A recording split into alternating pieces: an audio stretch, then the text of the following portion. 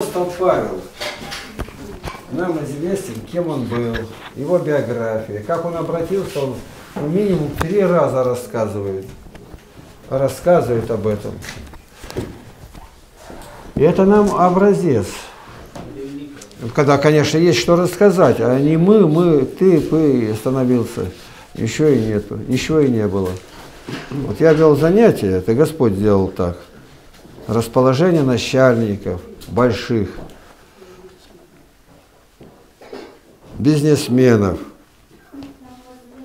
банкиров, ректоров, военных, депутатов, мэра города, губернатора, ну то есть в пределах нашего региона мне были знакомы практически все. Я три радиопрограммы вел еженедельно. Одна, как говорят, онлайн, часовая была. И потихоньку разговариваю, заговорил, как-то в трамвае еду, гляжу, люди заоборачивались. Мужчина встал, подошел, это вы по радио говорите? как я встретился с вами. То есть по голосу, чуть-чуть услышанному, знали, они имели ну, очень большой авторитет. Очень большой. Вот одна у нас обратилась к Богу, я вступление сделаю, и стала ходить. Чернявская Александра Ивановна, и муж ее, инвалид Отечественной войны, Иван Семенович. А там дальше с одной. И она как только, а у нас вторник, пятница, занятия с 18.00, 2 часа, 410 аудитория, корпус АВ, АГТУ.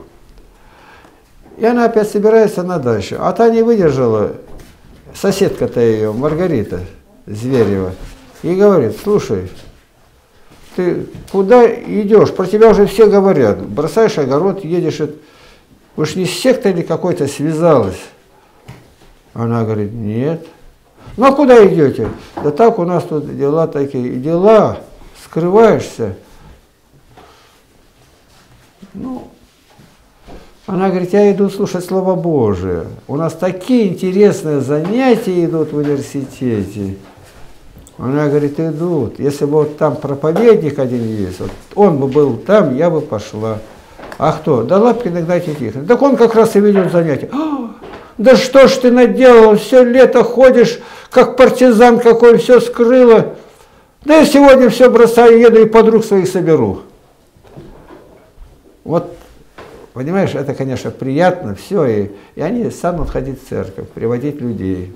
И потом кто-то сказал, вот приходят люди разные и уходят, другие остаются. Но можно у них интервью взять-то?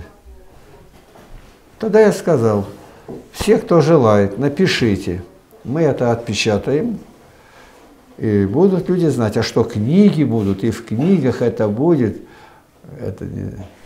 А много было людей, которые приходили, но не члены общины. Там сотрудники краевой администрации, КГБ, городской администрации, то есть люди не нашего уровня. Но мы уже остановились на этом, и люди стали приносить.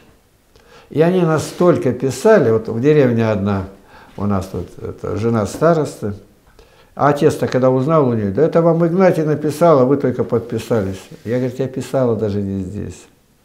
То есть настолько похоже, и написали не два человека, а три, а 84 человека.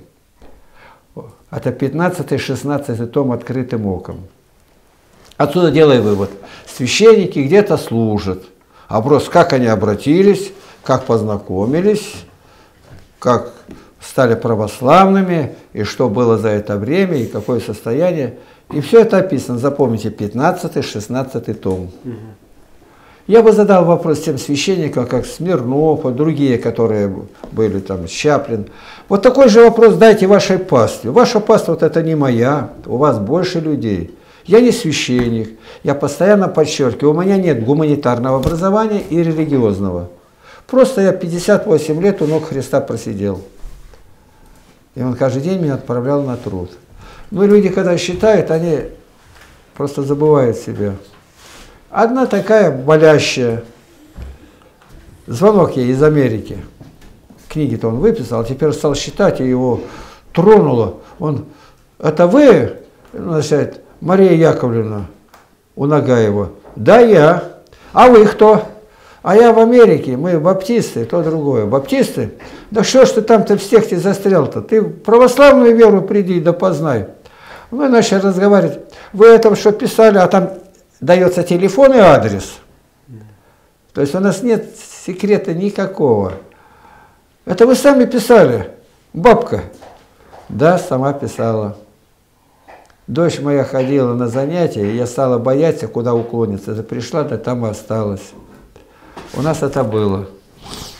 Я все это с одного места на другое, потому что в совокупности будет видно, как. Одна душа.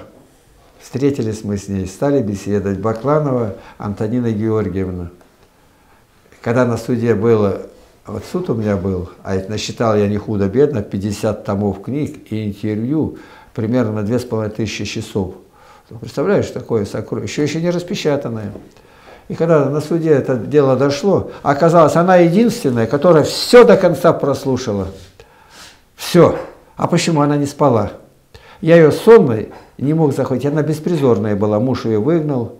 Она через топор перепрыгнула только. Он привел в дом молодую жену и трое детей отнял, и, и, и все. Потом, как она ее допрашивали, и мы с ней познакомились, она принадлежала к ИПХ, истинно православные христиане, подпольщики, тихоновцы. Эту церковь, власть они не признавали, без паспортов живут, паспорта нельзя, это печать антихриста. И мы с ней познакомились, она и паспорт получила. И когда узнали, она активная была, а главный центр был у них в Тамбове.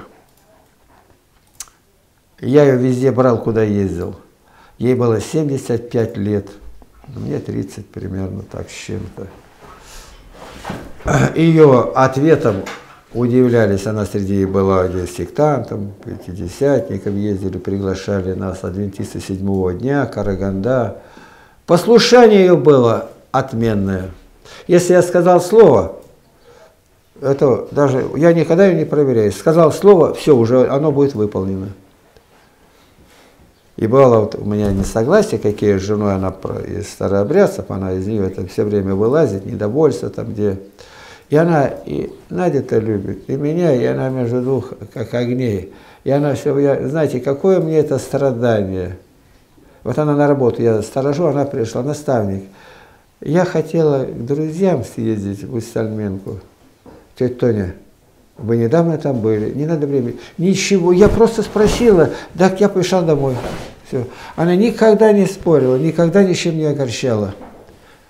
Ее увидели, когда узнали биографию, что она беспризорная и здесь живет. И вывели ее в сене, и давай ей деньги давать. Она говорит, я взять не могу, нельзя. Как нельзя? Игнатий сказал, нигде ничего не брать, можно только давать. Да он и не знает. О, да как тогда какие наши отношения, если от него прячусь? Он сказал, если хоть что-то возьмешь, сразу езжай куда хочешь, со мной ты больше не будешь. И они сразу руку отпустили. Ты слышишь меня хорошо? Примени к себе. У тебя отношение будет другое, и будешь бегать не расшарагивая, подпрыгивать будешь, как рядом сидящий с левой стороны. И вот та пришла, услышала, стала членом церкви они написали о себе. И это же самое можете. Я не издаю сейчас книг. Я умею. Бог дал мне талант отрезать. Вот стихи у меня были за 9 лет, 9 лет, 3467 стихотворений. Люди не знают, а что это, ну цифра, цифра. Это за 9 лет. Да каждое стихотворение 9 куплетов, 9 и 4, 4 строчки в куплете, 36 эпиграф из Библии. Это 4 тома по 800 страниц, и до одной строчки занято. Все. Это за всю жизнь издали стихов. А там бывает один куплет из стихотворения считается.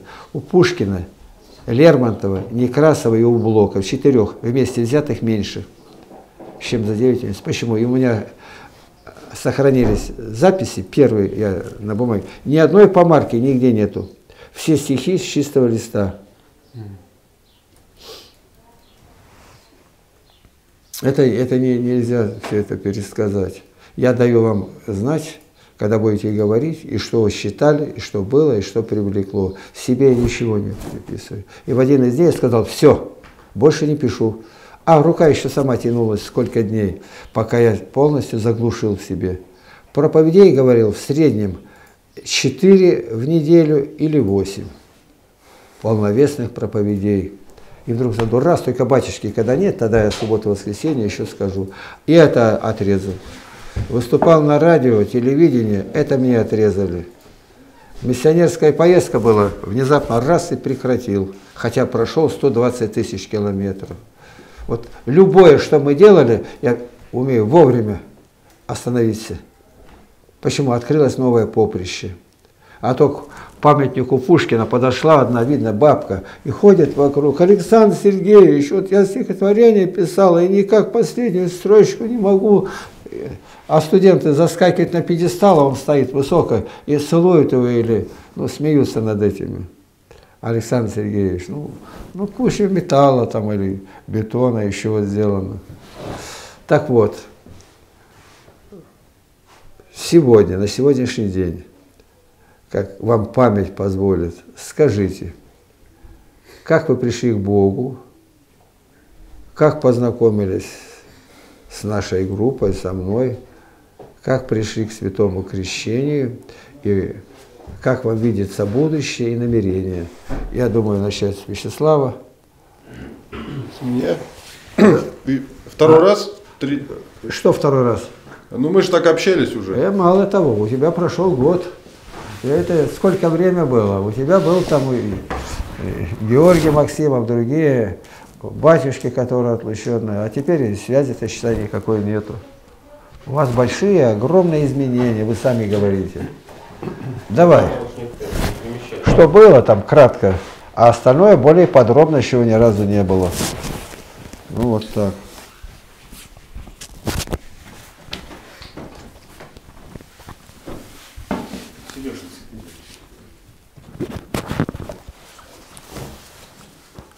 Ну, уверовал я, я уверовал, наверное, когда мне лет было 18, первый раз, тоже я услышал, встретил человека, который исповедовал Святую Троицу.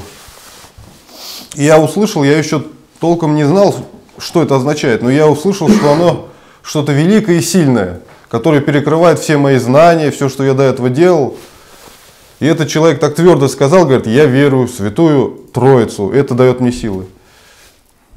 И у меня все разрушилось, я думать стал, что за Святая Троица. То есть я понимал, что это сверх того, что, что это божественное что-то. Ну и вот так у меня началось изучение, я стал читать. И тоже стал исповедовать Святую Троицу. Всегда всем говорить, что я верую в Святую Троицу. Вот у меня началось с этого. Ну, плюс Конечно, были всякие события, которые меня привели к Богу, где я разуверился в собственных силах, понял, что мы все, во всем зависим только от Бога. И, и вот самый сильный закрепление этап веры у меня был это, когда, конечно, я пошел в армию. И Бог мне так сделал, что в армии я 9 месяцев болел. Болел, но для, это никак не влияло на то, что я делаю. То есть я со всеми бегал, прыгал, занимался, но внутри мне было очень плохо. То есть у меня была прям боль, слабость, вот это все горло, все очень плохо мне было. И поэтому у меня ничего не было, кроме молитвы. Я все время молился, молился. И Господь все время был ближе, чем тогда, наверное, Бога никогда со мной не было. Как будто вот по ощущениям. То есть всегда был Бог, буквально отвечал сразу на молитвы все мои. Это, видимо, я понимаю, сейчас была затравка. Но по Евангелию, конечно, я еще не веровал. Я веру, то есть мне попались книги монашеские в основном. Архимандрит, Архимандрит Рафаил Карелин. я много там что-то хорошего узнал. То есть, ну, я считал, что самое главное в жизни это э, ну, там, молитва. Ну, то есть ты должен постоянно молиться. Но то, что евангельские заповеди, это то есть исполнять на деле, я примера такого никакого не видел ну, нигде. Хотя я сейчас понимаю, что тогда вот то, что я сегодня получил, тогда я это внутри, внутри ну, э, как бы чувствовал, что вот это правильно. Но смотря на окружение, я понимал, думаю, ну это все так не делают, верующие православные. Наверное, я что-то не так понимаю. Я заглушил это чувство. Так вот, после армии я пришел, И у меня было много, э, ну, вот можно сказать, моя жизнь была вот такая, духов, духовная. То есть падение, потом я опять в храм начинаю ходить, начинаю опять читать, читать нормально идет. Потом опять падение, э, да, и взлет. И примерно так прошло лет 10, 8, 8 где-то лет до 29 лет. В таком состоянии я пробыл, и я начал понимать, что что-то не так. Я исповедуюсь, причащаюсь, хожу в храм, я читаю книги, все добротолюбие, Игнатий Бринчанинов, Исаак Сирин, Ефрем Сирин, всех просто святых отцов, все, что можно, перечитываю. Но жизнь моя не соответствует. Я там не грешу какими-то там, я не знаю, ну там, не как безбожник поступаю. Я там каноны знаю. Допустим, Георгий Максимов я тогда смотрел постоянно. И у него вот хорошие ранние труды есть по то есть догматам церкви, по сектанству там всякому. Вот он какие, что ересью является, что не является ересью. Вот он мне сразу заложил такие понятия, которые, что если даже священник или епископ ну, говорит какую-то, что-то, какую-то ложь или неправду, какую-то ересь, но если эта ересь не осуждена соборно, то его отлучать еще пока нельзя никак. То есть мы, ты не можешь его не поминать, там, ни еще что-то такое. А хотя вокруг были, кружились люди, которые говорили, а там патриарх Кирилл, это еретик, он там обнимается с пап, ну там с, ходит. Но Георгий Максим вбил такие понятия в меня, что это, не знаю, это, это еще не значит ничего. Надо должно быть осуждено соборно, а самому по себе ты решать и перестать поминать там или перестать молиться о нем, ты не можешь. Вот это я за него благодарен, он многие хорошие вещи вбил. Но жизнь моя, конечно, не соответствовала тогда нисколько. Это я сейчас понимаю. И я свою жизнь до того, как я уверовал по Евангелию, могу назвать только вот так вот. Беснование с проблесками света. То есть, в принципе, ты, ты мирской человек на самом деле. То есть, ты в миру живешь, как мир, э, движешься ми, миром, бреешься там, а, может быть, со всеми там, ну, с друзьями там пойдешь куда-то отдохнуть, даже можешь выпьешь где-то там иногда редко. Ну, это я, допустим, так, да. Там все было. Там, ну, не, этот, там даже в игры компьютерные игры были. Я это понимаю, что сейчас, что компьютерные игры это хуже наркомании, курения и алкоголизма. Потому что не осуждается обществом никак. Дети, дети сегодня, несколько грехов, которые все дети повер, погрязли. Это компьютерные игры, матершины и рукоблудие.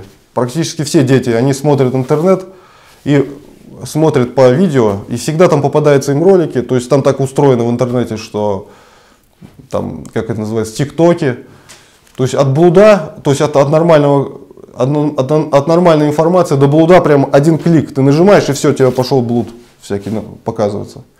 И любой ребенок, который не обучен, его сразу же, он, конечно, погибнет. Ну, то есть он в это завязывается. Так вот, я исповедовался, прочищался, то есть старался потому, как я это верил. Но я сейчас понимаю, что я, конечно, совесть свою перешагивал иногда, частенько. То есть, ну, мне, я сейчас анализирую, я понимаю, что я мог поступать не так. Мог я там здесь поступить по-другому, мог я здесь себя сохранить, мог здесь.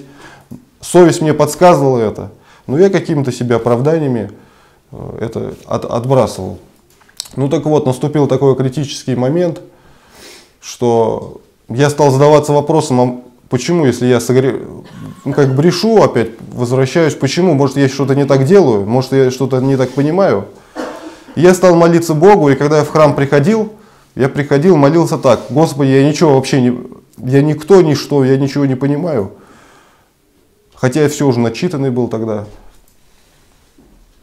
И мне Господь нам такое утешение давал, я сейчас понимаю, что он мне показывал, да, правильно, ты ничего не понимаешь. То есть мне так хорошо было на душе, когда я перед Богом открывался, то, что я говорю, я все не так делаю, все у меня не так. Я перед ним вставал на молитвах и говорил так.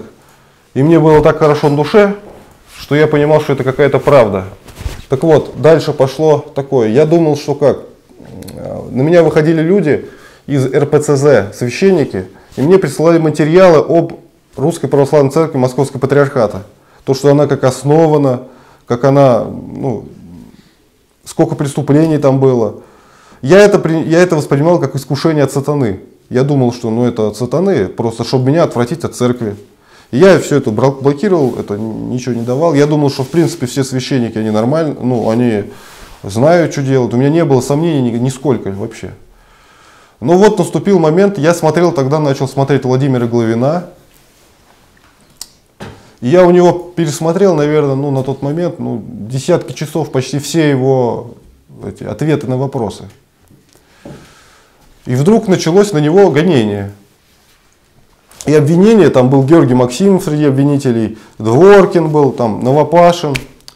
И я все, там, допустим, 10 пунктов обвинения, я видел, что 7 из них ложные.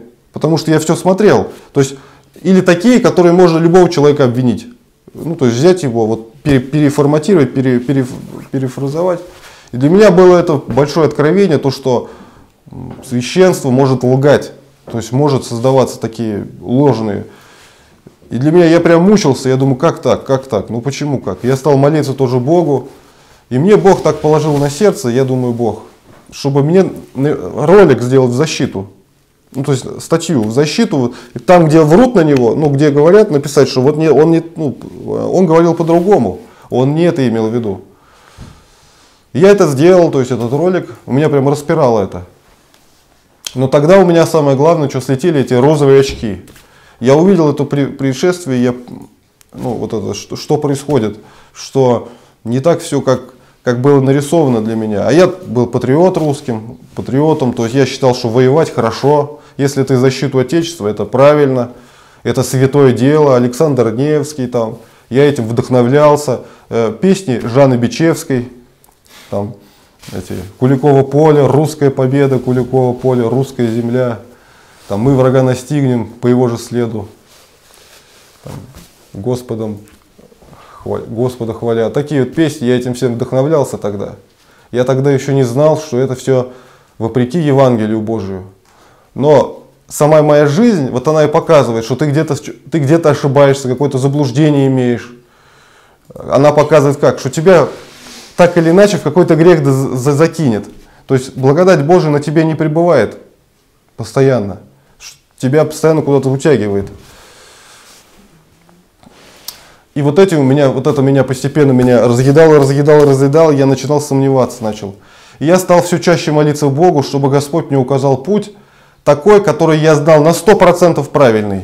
То есть, если я прям так молился, Господи, дай мне 100, стопроцентную уверенность, что вот этот путь праведный. Если говорю, он праведный, я по нему пойду, с него уже не вступлю. То есть я чтобы знал, что это вот тот, тот, тот и есть путь. Потому что у меня уже сомнения пошли разные со всех сторон. Тут это так, здесь я внутри себя не чувствую твердости. А изначально, когда я уверовал, я все каноны, все соблюдал, посты. А потом стал слушать, и я помню, и у меня такие уже были мысли, что э, вот э, я даже Игнатий Бричинин слушал, он говорил, не пост для человека, ой, не человек для поста, а пост для человека. И мне сразу из-за этого, что если в принципе и хочешь, можешь пост и нарушить, ничего страшного нету. Не суббота для, не человек для субботы, а суббота для человека. Ну, значит, можно и воскресенье нарушить, в принципе. То есть я неправильный вывод сделал от этого, из этого всего. И я сейчас общаюсь с людьми, и я вижу, что они точно такие же выводы неправильно делают, читая это. И у Игнатия Бринчанинова, и у некоторых святых отцов, и слушая священников. Они нарушают все это, эти предостережения. И вот тогда у меня это все накопилось, и я стал понимать, вот, что нельзя ничего нарушать. Как будто я отделился от церкви, как будто у меня какое-то отделение произошло, что я какой-то, как я себя почувствовал ну, в полном заблуждении. И тогда а, был такой момент у меня, что я хотел согрешить очень сильно. Но внутри я понимал, что это грех. И молился Богу, чтобы меня Господь отвратил от этого греха. И так вот, что было дальше? Господь меня отвращает от этого греха. И как это было? Сергей парализованный, я уже, мне стали попадаться ролики, и мне попался ролик Сергея Парализованного, где он про себя рассказывает, как он попал в воду, а, вот сломал себе позвонки. И я вот эти деньги, которые хотел потратить на грех, я ему их перечислил. И я считаю это переломный момент. Я просто взял их, перечислил, все как отрубил. И мне стали попадаться ролики, а, это Игнатий Тихонович Ваши. Один, второй попадается ролик – я смотрю, Я помню, до этого я тоже видел о вас упоминание у Георгия Максимова, то, что он говорит, что первый раз я услышал об этом, он сказал, ну, о вас спрашивают, и вы такой сидите. И я помню, что я обычно все его ролики тогда смотрел, помню, что он, он говорит, ну что-то про вас нехорошее сказал, но мне где-то вообще я не послушал его в этом. Я просто отбросил этот, я говорю, да ладно, думаю, какой-то старичок какой-то просто. Что там где-то там в, каком-то, в какой-то Сибири, на меня не влияет, я его не смотрю, какой, что я буду смотреть про него. Я ничего, никаких выводов не сделал, плохих. Но я сейчас вспоминаю, я помню, что у меня, я на вас посмотрел тогда, мне сердце пора, ну сердце у меня откликнулось, откликнулось. Так вот, мне стали попадаться ролики, я стал смотреть. И мне как раз вот на мое мировоззрение сегодняшнее, а вы тогда говорили тут, обличали там, показывали, вот тут нарушение, здесь нарушение. И мне как раз ложилось, как у меня начало формироваться мировоззрение от всего этой жизни. Я сразу начал видеть, что действительно это же так и есть, вот это так и есть, так и есть. Там все, все стало как будто все, все приниматься. И дальше самый был жесткий вопрос, это крещение пересмотреть свою жизнь, под, под, оказывается, что ты вот эти 10, все, эти, все эти года ты не был крещенным, это большое было дело для меня. Ну, и я просто встал, помолился Богу, то есть я когда это узнал, стал молиться, и мне Бог сразу же положил на сердце, что это правда. Я стал изучать все, смотреть все каноны, все вообще все материалы, еще даже ваших материалов не было тогда. Я все стал смотреть и найти и чтобы найти хоть одно доказательство то, что, что обливание, является, обливание здорового человека является действительным. Хоть одно наш, искал. Георгий Максимов этому говорил, что действительно. Я стал искать у всех, я не нашел, чтобы хоть один святой отец или один в Писании или в каком-то каноне написано, что человек ты, он нормальный, здоровый, и просто по небрежению его облил, и это действительно, нигде нету. Все святые отцы даже говорят, если больной он, тогда, или отсутствие возможности, это я видел. А вот то, что это не действительно, я нашел очень много где. Это и в канонах церковных, 50 апостольское правило. А, если ты не в три, трикратно погружен, да будет извержен священник, который так не погружал, не в три, не в три погружения. А ну я-то читал как, я думаю, ну если не в три, ну это же не значит, что это не действительно. А потом я подумал, ну если не в три погружения, написано а в одно, там написано а в одно, но тут у нас ни одного погружения даже нету. Я начал читать толкование, я смотрю, Никодим Милыш говорит, таинство действительно в силу правильного его исполнения, там прям написано так. То есть, и потому, говорит, и извергается епископ, потому что оно недействительное крещение, не потому, его извергают именно из-за этого, то, что крещение недействительно. И 47 правило поясняет то, что если епископ или пресвитер делает второе крещение, он должен быть извержен. А если он признает недействительное за действительное, тоже извержен. И прям там написано, что если не в три погружения, в толкованиях это везде есть. И все, я понял, что я не крещеный. И стал свою жизнь рассматривать и понял, что это показывает, моя жизнь моя сама показывает на, на это. Я стал выходить соглашенный, соглашенными из храма, смотреть уже Игнатия Тихоновича ролики чаще. И так, между прочим, я с вами вышел на скайп, по-моему, еще не беседовал. Я переслал вам вот эту статью мою в защиту Владимира Главина.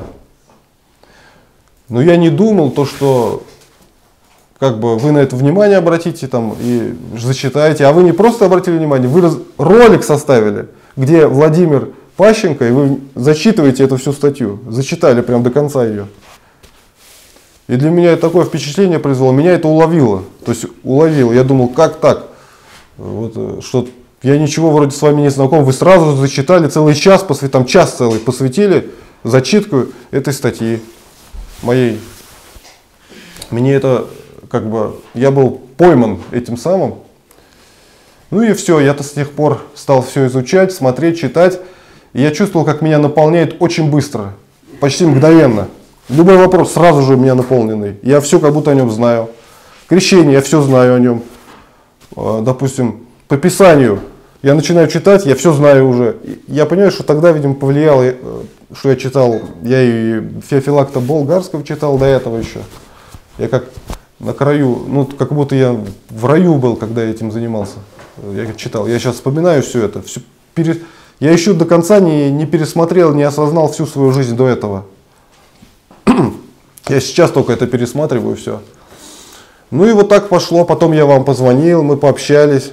И вы мне говорите, «Э, вы мне не сказали про бороду, но вы просто про кого-то рассказали, говорите, вот что он там заходил бритый. Но мне не говорили, но это я понимал, что это мне адресовано. А я уже понимал, что что-то не, что не то. Что, что надо, ну то есть, что борода это Божья воля. Я тоже стал смотреть все, все материалы и не нашел ни одного святого отца, который бы говорил, что брить бороду можно. Но нашел много святых отцов и свидетельств, вот уже с ресурсов, где то, что бороду брить это грех.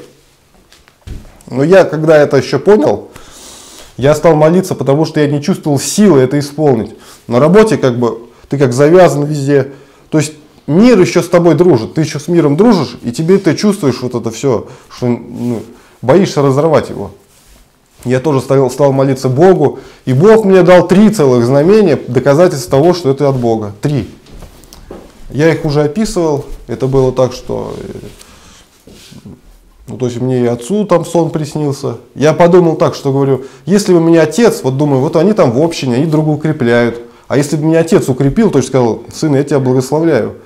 Я, я бы думаю, вот тогда бы мне было хорошо, легко. Так отец у меня три дня не спал, он не знал об этом, что я так подумал. Три дня он не спал. И говорит, я, говорит, три дня почему-то не спал, и у меня, говорит, э, сна не было. Но, говорит, как бы во сне я так лежу в полудреме, я вижу, говорит, тебя, и что тебе нужна какая-то помощь, и связана своим внешним видом, с своим внешним видом. И там что-то, говорит, на работе. И я ему рассказываю об этом. И он говорит, я тебя благословляю. Ну и все, мне понятно становится. Я с, тех пор я бороду уже не трогал ни разу. Я сейчас не понимаю, как, думаю, какое это, как это может быть каким-то искушением, как это может быть сложно. Ты вообще даже речи нет. Да даже если тебя уволят, даже какая разница? Зато ты Богу служишь. Я тогда это не понимал. Для меня это тебе ну, не было этого ничего. Сейчас даже смешно это смешно и рассказывать даже, смешно слушать. Думаю, ну как это может быть так? Никакой веры не было, получается. Но вот тогда Бог укреплял сильно. Ну и вот так мы с вами встретились, Игнат Тихонович. И у меня была четкая мысль такая, что Сергей Парализованный, он тогда вот тогда он как раз таки, вот этот наступил момент, когда он умер. У меня было четкое внутри ощущение, что он какую-то частичку свою мне передал. Но я никому об этом не говорил. Я просто думал, ну может так кажется. Но вдруг были какие-то занятия, и вот он умер, когда вы говорите, у него, говорит, книги 38 томов остались. Он их в библиотеку не передал. Ну, что-то не получилось. И, и говорит, у кого, говорит, нет книг? Ну так вышло, что я сказал первый, я. У меня, говорю, нет. А Игнат Тихонович говорит, забирай все, все, которые есть. Я даже замолчал, даже мне нечего было сказать. Ну и таким образом у меня все книги 38 томов от Сергея Парализована перекочевали ко мне. И этот был для меня еще одним знаменем, показывающим, что я на правильном пути, что я там, где я должен быть. И все стало мне открываться. И мне стало все открываться, что как будто это все мое, я как будто это знал до этого уже. И у меня до сих пор такое ощущение. И вот так мы стали с вами уже знакомы. Я стал совершенно на все по-другому посмотреть. Я стал благовествовать. Все грехи, которые тогда у меня были, у меня Бог их отнял. То есть я даже не понимаю, как это можно... Я это все стер, как будто стер, Бог у меня это стер, как будто было не со мной, я даже не вспоминаю, как будто это было со мной. То есть это было с другим человеком, каким-то другим. И вот летом я приехал на крещение с отцом, то есть я отца, отцу стал показывать. Жена у меня, она со мной просто смотрела, я ей не говорил про крещение. Ну, то есть я говорил, посмотри, у тебя что там по крещению.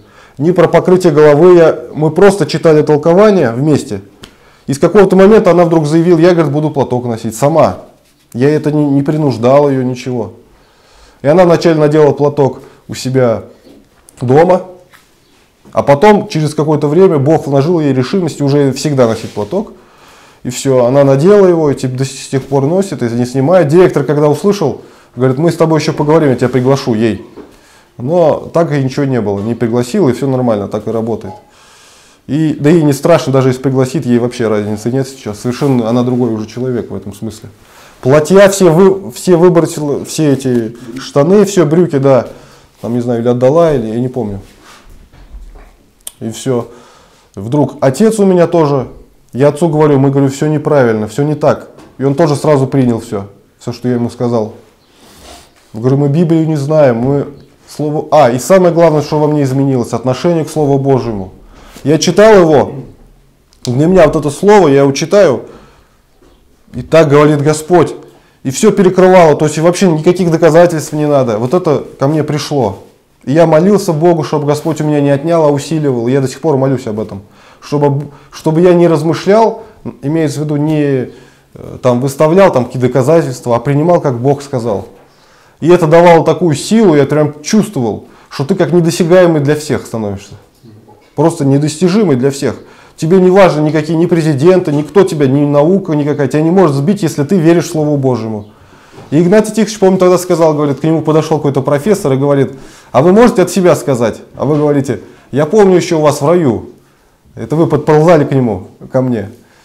И я то же самое это все ощущал неоднократно до сих пор от людей. То есть я стараюсь вот это не давать. Как только я даю мысль куда-то уходить, я чувствую, я теряю основу какую-то. А если ты по Слову Божьему, так говорит Бог, тебя Бог будет судить по Нему, по Слову Своему, то для тебя ничего другого нет, нет высшего авторитета. Это тоже я очень хорошо осознал и понял до конца. И вот эти стих, стих, всех мест Библии, которые строго меня коснулся, я понял, что это на мне отразилось. Это говорит, не вы меня избрали, а я избрал вас, чтобы нести и приносить плод, и чтобы плод вас пребывал вовек. Не вы меня избрали, то есть не я был не я Бога избрал, а Он меня просто избрал, потому что я ничего от того, что я получил, был, я недостоин был. Но Бог посчитал меня для этого достойным. И вложил все, все, что можно. Поэтому действительно, когда человек что-то пытается найти что-то, я понимаю, что пока не будет рождения свыше, пока не будет избрания Божие, Бог не изберет тебя, он так и будет куда-то туда-сюда скитаться. И ничего не поможет. Но до этого должен человек созреть еще как-то. Бог доводит тебя до кондиций всякими обстоятельствами. Ты должен дойти до этих до кондиций. И когда ты доходишь на какой-то критической точке стоишь, тогда тебе Господь спускает тебя. И ты должен только сказать «да», откликнуться. Решимость должна быть. Вот все, все, что я получил, я бы не получил, если бы у меня не было решимости. То есть я тогда почувствовал решимость, что любое буду делать только чтобы Богу угодить. Любое. И все, я приехал, крестился, мы приехали назад, и первое было искушение у меня такое. Владимир Головин, который для меня очень, я его люблю, действительно, я от него много пользы получил. Он меня пригласил к себе приехать. И мы с отцом приехали.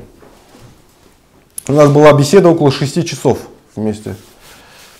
И он мне предлагает работать у них там в фонде и предлагает должность с большой очень заработной платой, должность директора фонда какого-то. А я такой активный, у меня энергии очень много по что-то делать, что-то делать для Бога. Я уже тогда с Игнатием Тихоновичем тоже был знаком, уже. Я уже там что-то занятие, может, не вел еще занятия, но участвовал активно. Он мне дает и говорит, вот тебе на раздумье, ну то есть ты подумай. Ну я приезжаю, стою на молитву, у меня четкое а, осознание, то, что это искушение идет после крещения. То, что я могу, что я, я чувствую, что если я приму это, то я теряю свободу во Христе, ту, которую я получил здесь. Тут у меня полная свобода, нет ни имен, у меня авторитетов никаких нету, строго по Слову Божьему.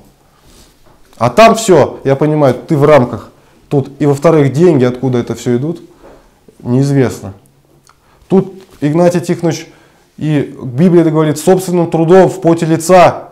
И я представляю, я помню, я это представляю, и у меня на душе хорошо, легко, что я не согрешаю, я как Бог сказал. А тут непонятно с чего. С чего ради? Тут тебе тут платят деньги какие-то. Ну, тут нету. Но э, зарплата как бы большая обещается.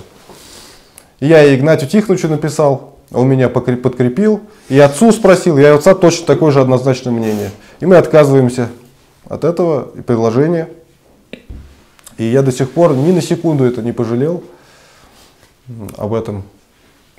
Ну и с тех пор я уже в группе, потом стал и занятия вести. И Бог меня наполнял, наполнял, наполнял постоянно. Там стал там, рано вставать. Чтобы рано вставать, я штурмовал три, ну два года штурмовал, штурмую.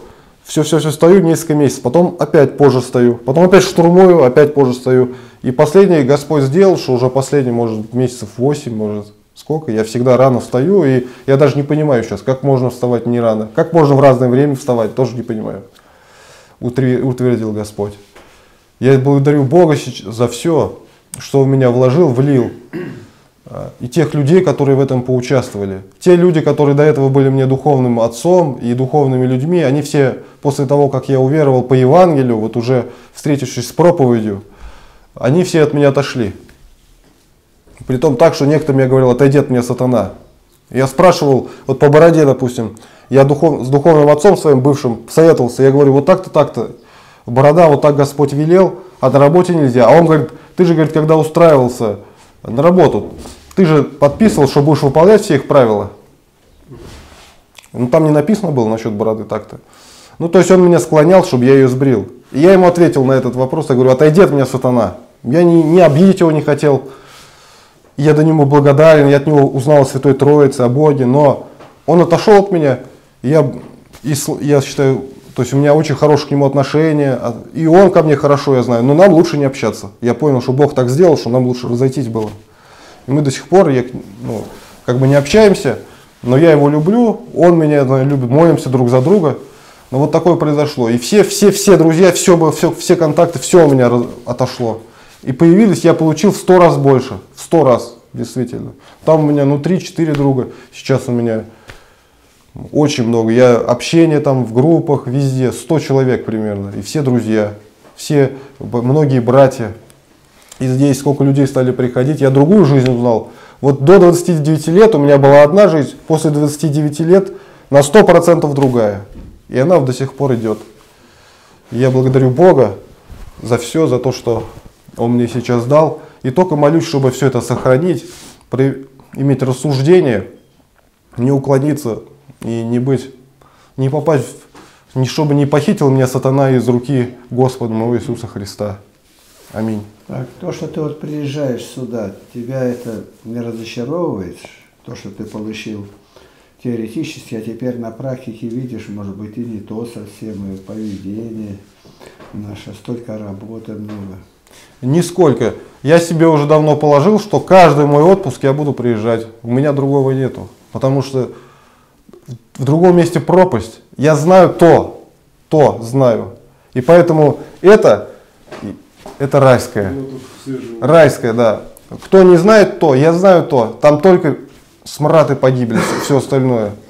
А это жизнь вечная. Так, если я вас сейчас оставлю, отключите там у меня все. Переключите. Я вас оставлю одних.